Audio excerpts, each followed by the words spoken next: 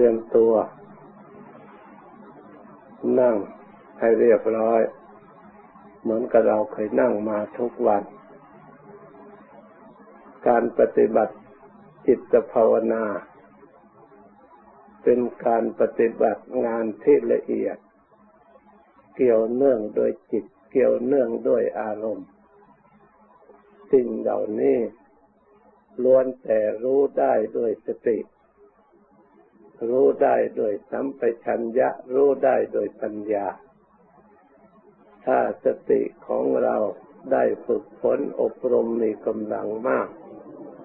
เราก็สามารถรู้เรื่องในจิตใจของเราได้มาก ถ้าจิตใจของเราได้รับการอบรมน้อย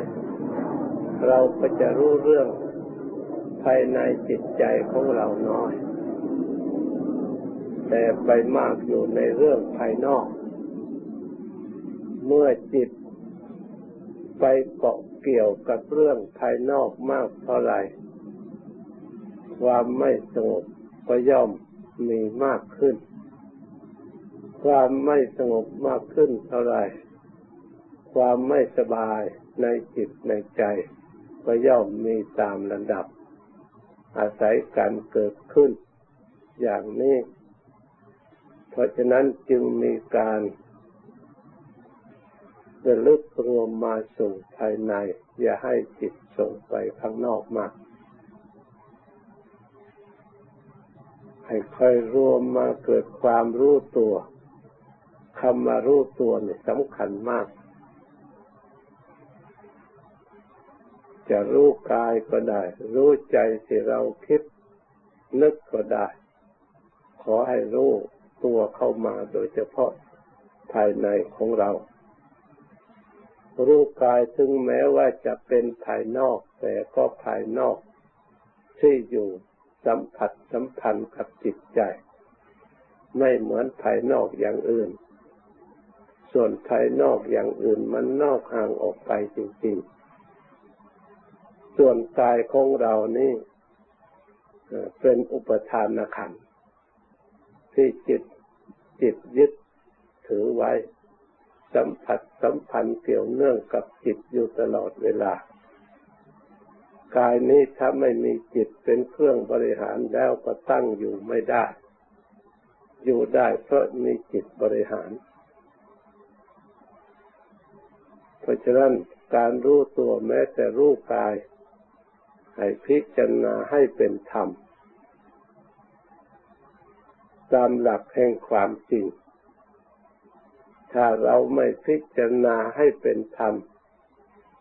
ยังเป็นสัตว์เป็นบุคคลเป็นตัวเป็นตนเป็นเราเป็นเขา ส่วนความรู้ที่เรียกว่าปัญญา ก็ย่อมไม่เกิดขึ้น ปัญญาในทางธรรมก็ย่อมไม่เกิดขึ้น ถึงจะเรารู้ก็รู้แบบโลกโลก จะมีความฉลาดไม่ฉลาดแบบโลกเขานิยมกัน ไม่ฉลาดในทางนิยม ในทางธรรมนิยม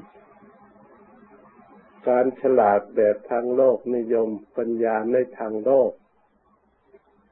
ถ้าเรามาพิจารณาดูแล้ว เป็นปัญญาที่หมกมุ่นมัวเมา ชุดลมุนวุ่นวาย ไม่มีต้นไม่มีปลาย ไม่มีขอบเขต ว่าปัญญาของโลกนี่ไปสิ้นสุดที่ไหน ความสุขของโลกนี่ไปสิ้นสุดที่ไหน ไม่มีใครวัดได้ ไม่มีใครกำหนดรู้ได้มีแต่หาความสุขอยู่ตลอดเวลา ส่วนปัญญาในทางธรรม ที่องค์สมเด็จพระสัมมาสัมพุทธเจ้า พระองค์พาประพฤติปฏิบัติ มีขอบเขตมีแดนแห่งความพ้นทุกข์มีจุดอิ่มและมีจุดพอมีจุดหยุดอยู่ ถ้าเราทั้งหลายเป็นผู้ไม่ประมาทมีความสนใจตั้งใจปฏิบัติจริงๆ ในมหาสติปัฏฐาน ท่านว่าผู้ที่จิตเจริญปฏิบัติจริงๆทำอยู่ สม่ำเสมอไม่ลดละแล้วอย่างนานท่านว่าเจ็ดปี ลงมาตามระดับเจ็ดเดือนเจ็ดวัน หรือคือผู้จะมีอุปนิสัยอย่างอ่อน เจ็ดชาติ ถ้าพยายามเจริญจริงๆ แต่ถ้าหากไม่เจริญปฏิบัติ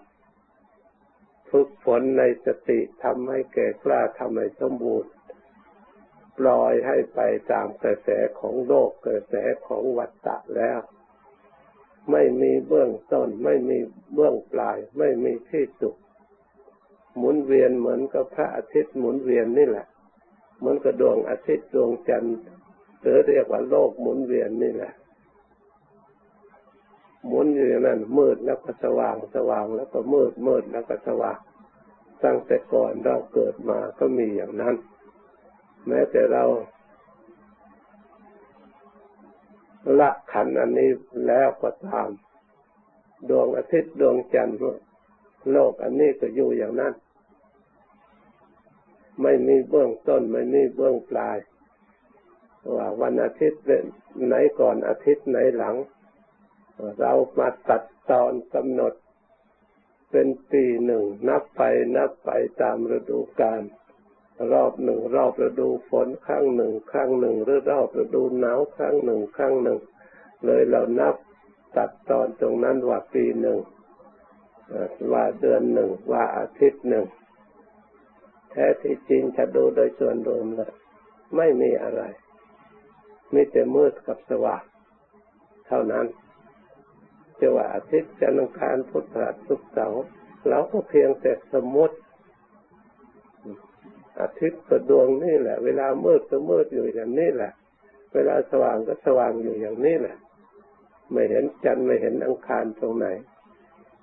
แต่เขาก็มีเครื่องหมายกำหนดดู ดาวฤกษ์ดาวจันทร์ดาวอังคารดาวพุธดาวพฤหัสปรากฏอยู่ตรงนั้นแต่สมมติเรียกไปอย่างนั้น สมมติไปสมมติมาเลยเวลาทุกเจ็บป่วยไม่สบายอย่างไรขึ้นมาแล้วก็ไปโทษดวงโทษดาวเลิกดาวนั้นดีดาวนี้ไม่ดี เป็นวิชาของคนไม่รู้ความจริง ไม่ได้ฝึกฝนรู้ต้นตของความไม่ดี แล้วก็ไปโทษดวงโทษดาวอยู่ในฟ้าในอากาศ แต่การเบียดเบียนกันเป็นมนุษย์เบียดเบียนกันทะเลาะกันพิกกันฆ่าฟันดันแทงกันมนุษย์ทำสร้างขึ้นมาเอง ดวงเดือนดาวเขาไม่ได้รับรู้อะไรจากมนุษย์นี่เลย แต่มนุษย์ก็โทษเขาจนได้ ไม่มีทางทิฏฐิไม่รู้ข้อเท็จจริง แต่ส่วนองค์สมเด็จพระสัมมาสัมพุทธเจ้าที่พระองค์ได้ค้นพบหลักความจริงพระองค์ว่าความสุขหรือความทุกข์ความดีหรือความชั่ว ที่บังเกิดขึ้นเป็นผลให้ได้สัมผัสสัมพันธ์ที่มนุษย์และสัตว์ทั้งหลายได้รับอยู่ในเวลานี้ ไม่ใช่มาจากดวงดาวเกิดขึ้นมาจากความไม่ฉลาดของเราเองที่สร้าง ความไม่ดีขึ้นมาไม่ใช่มาจากอื่นไกลเมื่อพระองค์ทราบเงื่อน เช่นนี้แล้วพระองค์จึงสอนให้ละสิ่งที่ไม่ดีเมื่อเราทั้งหลายไม่ต้องการความทุกข์ทุกข์ทั้งหลายมาจากมาจากสิ่งที่ไม่ดี ถ้าใจไม่ดีเราเราสังเกตดูทุกข์ก็ย่อมมีนะ เราสังเกตได้เห็นชัดไม่ใช่ธรรมที่พระองค์สอนลึกลับที่เรารู้ไม่ได้เห็นไม่ได้ ถ้าเรามีสติดีมีความรู้ตัวดี มีความตั้งใจดี อยากจะรู้ดีความจริง เรามานั่งกำหนดตรวจตราโดยจิตของเรา เมื่อบางครั้งจิตของเรามีความสุขก็สังเกตดูจิตใจก็แช่มชื่นจิตใจก็ดีอารมณ์ก็ดีทุกอย่าง มันละห่างสิ่งที่ไม่ดีปรากฏว่าไม่มีในจิตใจในขณะนั้น ไม่ทราบมันไปอยู่ที่ไหน แต่เวลาใจไม่ดีขึ้นมา ทุกไม่ทราบมันออกมาจากไหน นั่งก็ไม่สบายนอนก็ไม่สบายยืนเดินก็ไม่สบายเหมือนกับเวลาดวงอาทิตย์ขึ้นมามืดไม่ทราบมันไปอยู่ไหน หาไม่เห็นเลย เวลาพอดวงอาทิตย์ลับไปเท่านั้นนี่ยมืดหรือไม่ทราบมาจากไหนมองอะไรก็ไม่เห็น ความสุขกับความทุกข์เหมือนกัน เวลาความสุขเกิดขึ้นความทุกข์เหมือนก็ไม่มีแม้แต่น้อย เวลาความทุกข์เกิดขึ้น ความสุขก็หายไปหาไม่เห็นเลยมันเดิมล้ำอย่างนี้คนเราก็เลยหลงเพราะไม่มีสติตามรูป มีแต่องค์สมเด็จพระสัมมาสัมพุทธเจ้าของเราเท่านั้นพระองค์เป็นผู้มีปัญญาผู้รู้เห็นเป็นพระอรหันต์ตรัสรู้เองโดยชอบ พระสัมมาสัมพุทธเจ้าของเราทั้งหลาย พระองค์มีพระมหากรุณาแก่เราทั้งหลาย จึงได้ที่หนทางและแนวทางให้เราประพฤติปฏิบัติ ที่ช่องทางให้เราเห็น ทุกมาจากจิตใจไม่ดี โดยย่นย่อโดยพูดให้ง่าย ๆ เพื่อเราจะได้กำหนดรู้ง่ายๆเราจะได้ตามรู้เห็นจะได้เชื่อ เมื่อมันเป็นปรากฏขึ้นในจิตใจของเราเป็นอย่างนั้น ความเชื่อของเราก็ย่อมเกิดขึ้น เป็นกำลังใจ ในส่วนที่ความเชื่อจะทำให้เกิด การสนใจตั้งใจในการศึกษาในการปฏิบัติให้เกิดความเพียรเกิดความพยายามเหมือนกับเราทั้งหลายที่เพียรพยายามก็มาตามกำลังศรัทธานี่เองศรัทธาก็ที่เราได้พิจารณาได้บังเกิดรู้ขึ้นในจิตใจนี่เอง ถ้าหากกับปัญญาของเรา เราพิจารณาเห็นละเอียดเห็นสำคัญมาก ศรัทธาของเราก็ตั้งมั่นมาก เชื่อมั่นมาก ความเพียรของเราก็องอาจในการที่จะละสิ่งที่ควรละ ในการคิดทำในสิ่งที่ควรทำไม่กลัวไม่ท้อถอยไม่ลดละ ไม่ได้เลือกว่าสิ่งใดที่ความยากลำบากมาขัดขวางไม่ได้นึกเลย นึกแต่เพียงว่าต้อง ถ้าพยายามต้องสำเร็จสำเร็จด้วยการพยายามของเรา รู้ฉลาดด้วยความเพียรความพยายามของเรา เพราะฉะนั้นการภาวนาก็ต้องมีทำเหล่านี้ช่วยด้วย ก็คือศรัทธากับปัญญา ยิ่งเราสอดส่องมองเห็นชัดเท่าไรศรัทธาเชื่อมั่นก็มากขึ้น เมื่อศรัทธาเชื่อมั่นมากขึ้น ทุก ที่มาขัดขวางก็ถูกทำลายไป มาทำแต่ความดี ด้วยความปลื้มปิติดีอกดีใจ เมื่อความดีภายในจิตใจของเรามีแล้ว จิตก็น้อมมาเพื่อความสงบน้อมมาเพื่อความวิเวกยิ่งจิตสงบเท่าไรวิเวกเท่าไรปัญญาของเรายิ่งผ่องใส ยิ่งคมกล้า สังเกตดูแต่จิตสงบจิตมีสมาธิเนี่ยมันคมกล้าร่าเริงในทางธรรมนะถ้าเราสังเกตให้ดี ไม่ย่อท้อแดดร้อนก็ไม่ร้อนฝนตกก็ไม่ไม่กลัว อากาศจะร้อนเท่าไหร่ก็ไม่กลัว มันไม่เป็นอุปสรรคเลย ในความร่าเริงของจิตความสงบของจิตความ อาถรรพ์ของจิต เพราะฉะนั้นเราทั้งหลาย ให้พยายามใช้ปัญญาสอดส่อง ให้รู้ธรรมเห็นธรรมทำในส่วนที่เป็นกุศลที่พระพุทธเจ้าสอนให้เจริญเป็นต้นทานก็ควรจะพิจารณาให้เห็นประโยชน์ที่เราทำ เราสำรวมกายสำรวมวาจา เราก็ควรใช้สติใช้ปัญญา ตรวจตราพิจารณาให้เห็นประโยชน์ในการสำรวมเห็นประโยชน์ในการกระทำแล้วก็กลับเห็นโทษของความไม่สำรวมเห็นโทษของการไม่ประพฤติไม่ปฏิบัติ เมื่อเห็นคุณของการปฏิบัติ เห็นโทษของการไม่ปฏิบัติ แล้ว เราก็เห็นช่องทางสิ่งไหนควรละเราก็ละได้เพราะเราไม่ต้องการทุกข์ไม่ต้องการโทษ ไม่มีจิตดวงไหนต้องการโทษต้องการทุกข์แต่ตัวเอง แต่ถ้าหากว่าทุกนั้นเพื่อเป็นไปเพื่อความสุขความข้าวหนามันไม่กลัว มันไม่ถือว่าทุกข์มันจะต้องเอาชนะ ถ้ามีความสุขรอคอยข้างหน้า แต่การทำอันใดถ้ามีความทุกข์มารอคอยข้างหน้าพระพุทธเจ้าพ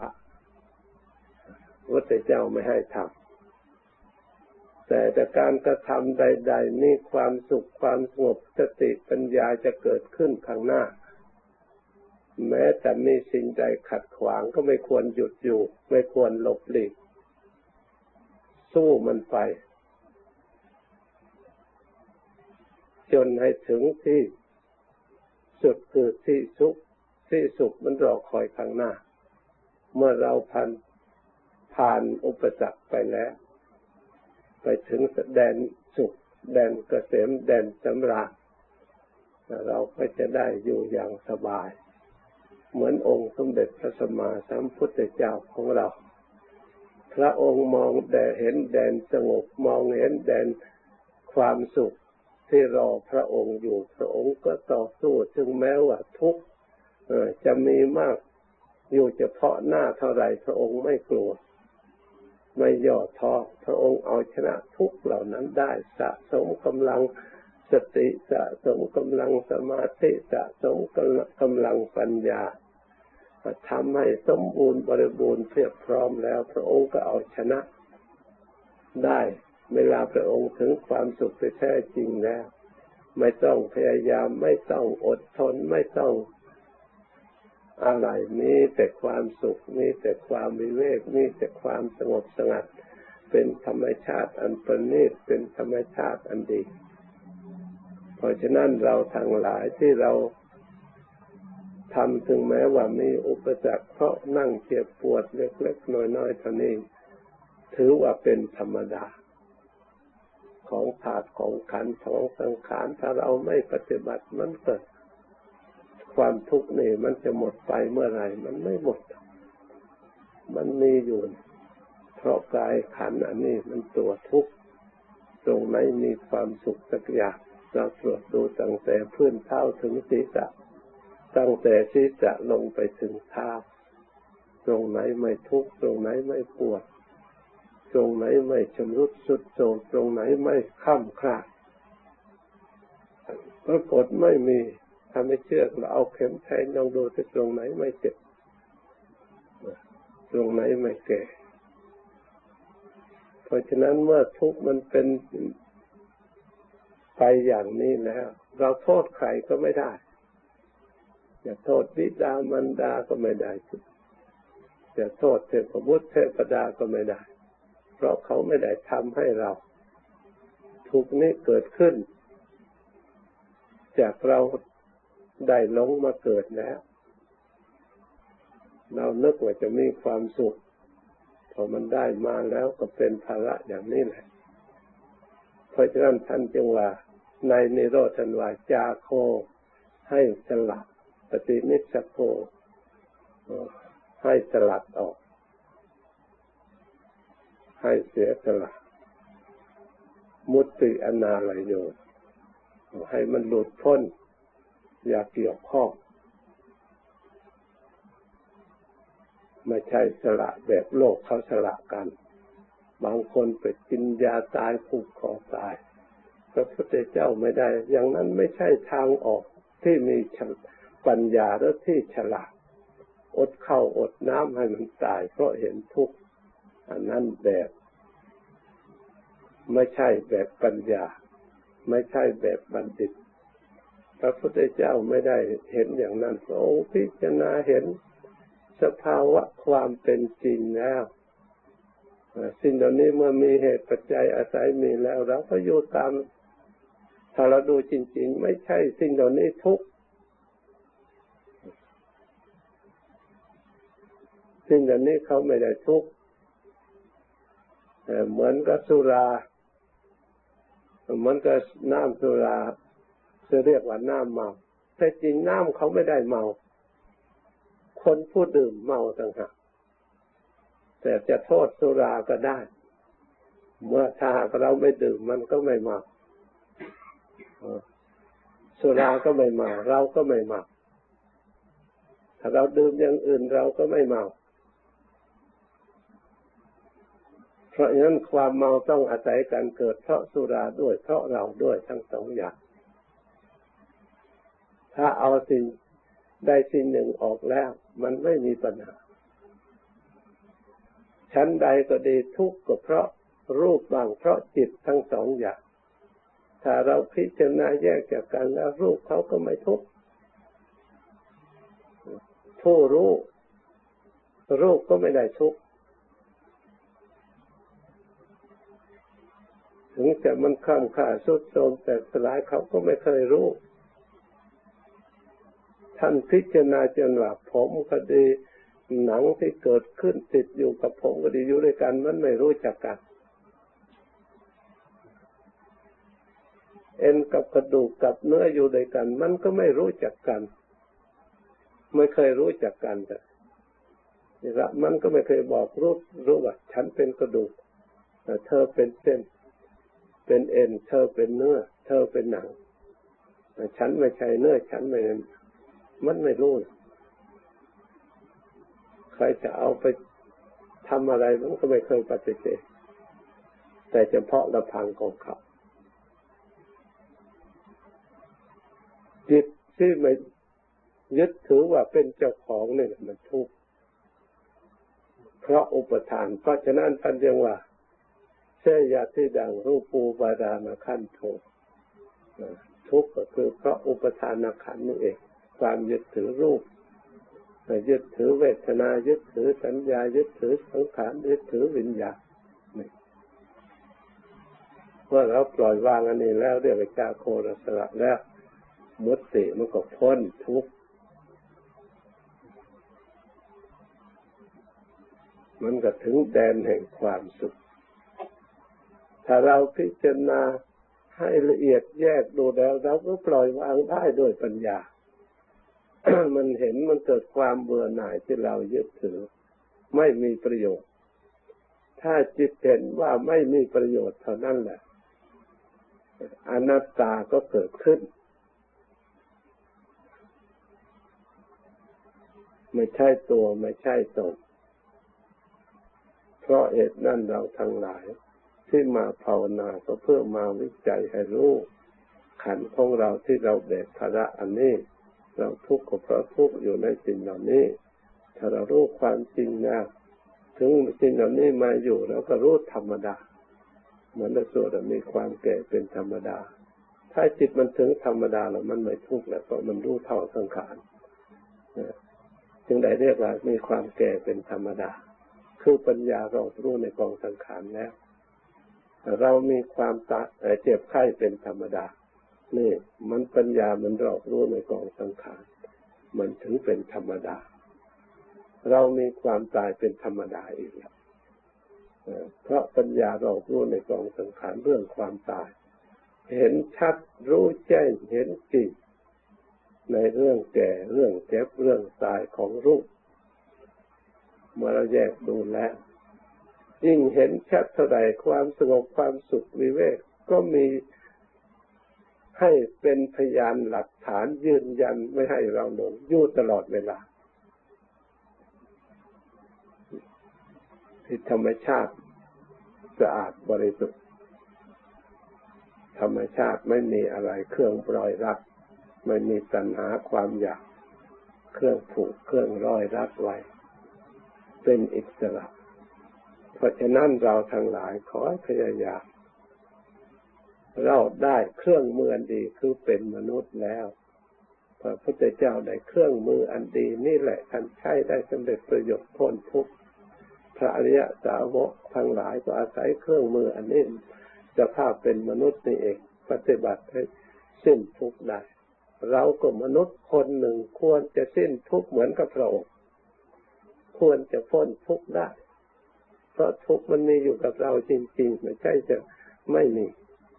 เราก็สามารถจะเห็นได้จริง ๆ ไม่ใช่ว่าไม่สามารถ เราก็จะรู้ได้จริง ๆ ไม่ใช่เราไม่รู้ ขอให้เพียรพยายามทำเมื่อเรารู้แล้วสงบได้ เราก็มีความสุขได้มีความสงบความวิเวกได้ สุขโขวิเวกโกสุทัสสะนะความสุขวิเวก ของบุคคลผู้มีความยินดี ตามมีตามได้ ในของที่มีอยู่ ย่อมให้เกิดสุข